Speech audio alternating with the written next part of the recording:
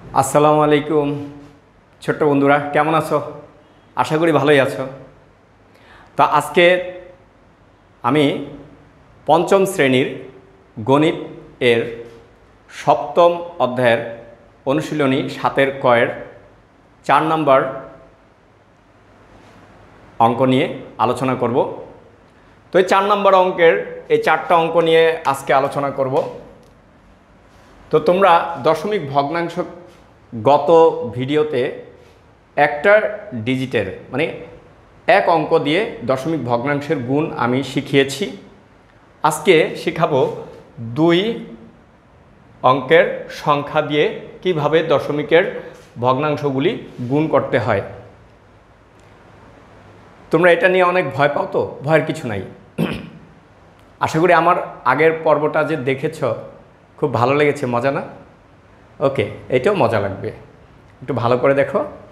আচ্ছা তাহলে আমরা এই, এটাকে নর্মালি আমরা যে গুণটা আমরা এইভাবে করি এইভাবে আমরা সাজাবো। ওকে তাহলে দেখো, আমরা যে এই গুণগুলি করছি, এইখানে ছত্রিশকে চোদ্দ দিয়ে গুণ করছি, ঠিক এটা তো তোমরা পারো, তাই না? পারো তো? আচ্ছা এখন দেখো মনে করো ঠিক ছত্রিশকে চোদ্দ দিয়ে গুণ করলে যা হয় তাই।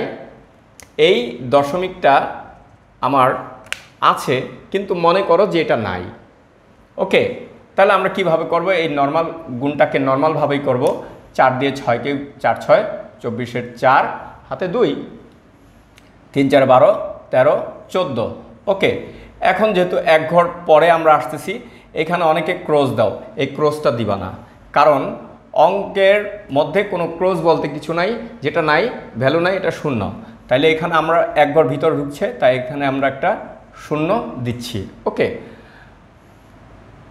তারপর এক দিয়ে আমরা গুণ করব তাই একের সাথে গুণ হয় তাই, একের সাথে পাঁচ গুণ হলে পাঁচ, একের সাথে ছয় গুণ হলে ছয় তাহলে একের সাথে ছয় গুণ হচ্ছে ছয়কে ছয়, আবার একের সাথে তিন গুণ হচ্ছে তিন একে তিন। ওকে এখন আমাদের যোগ করার পালা। তাইলে এটা চার, এটা দশের শূন্য, হাতে এক, তিন আর এক চার আর এক পাঁচ, এখানে পাঁচ। তাহলে দশমিক এক ঘর পর ছিল, তা আমি এক ঘর পর একটা দশমিক দিব। তাহলে উত্তর কত পাইলাম? পঞ্চাশ দশমিক চার, এটাই হচ্ছে উত্তর। আরেকটা হচ্ছে এই দ্বিতীয় অঙ্কটা আমরা দেখব। আচ্ছা তাহলে এই অঙ্কটা আমরা এইভাবে করব। ঠিক তোমরা আমার সাথে সাথে করো। একটা খাতা আর কলম নিয়ে বসো। আচ্ছা তাহলে দেখো, এখন এটা দিয়ে করব। সাতাটা ছাপ্পান্নর ছয়, হাতে পাঁচ। ছয়টা আটচল্লিশ, উনপঞ্চাশ, পঞ্চাশ, একান্ন, বাহান্ন, তিপ্পান্ন। তিপ্পান্ন পুরাটাই নামবে। আর এটা এক ঘর ভিতরে, তাই এখানে একটা শূন্য দিব। এখন এটা দিয়ে এটা গুণ করে এখানে বসাবো। পাঁচ সাতা পঁয়ত্রিশের পাঁচ হাতে তিন। ওকে, পাঁচ ছয় তিরিশ আর তিন তেত্রিশ। ওকে, তেত্রিশ দিলাম, এখন যোগ করার পালা। ছয়, আট আট, তিন। তাহলে এক ঘর পর দশমিক এক ঘর পর এখানে দশমিক দেব। তাহলে উত্তর কত হইল? তিনশো অষ্টআশি ছয়, দশমিক ছয়। এটাই হচ্ছে আমাদের উত্তর।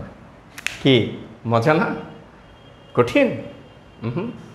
আচ্ছা এরপরেরটা আসি।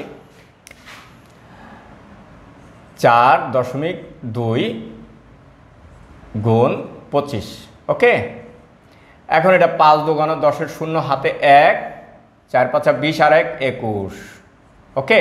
এখন এটা দিয়ে করছি, এখানে একটা শূন্য, দু দোকানে চার চার দোকানা আট, ওকে?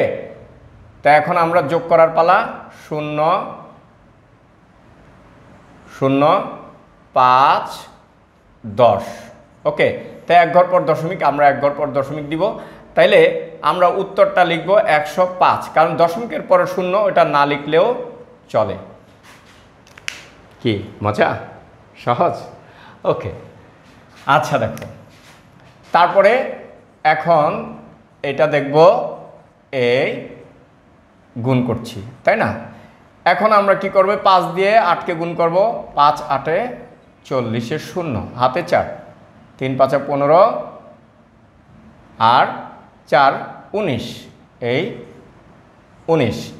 এখন এক ঘর পরে যেহেতু এখানে একটা শূন্য দিব। চারটা বত্রিশের দুই। হাতে কত? তিন। তিন চারে বারো, তেরো, চোদ্দ, পনেরো। এই হচ্ছে পনেরো। এখন আমি যোগ করব যোগ নয় আর দুই, এগারোর এক, হাতে এক, ছয় আর এক, সাত, ওকে? আর হাতে নাই, এই এক। তাহলে এক ঘর পর দশমিক, এক ঘর পরে দশমিক দিলাম। তাইলে উত্তর কত? একশো একাত্তর। তুমি দশমিকের পর শূন্য দিয়েও লিখতে পারো, কোনো সমস্যা নেই। সহজ? মজা? ওকে। তো ধন্যবাদ এতক্ষণ। আমার সাথে থাকার জন্য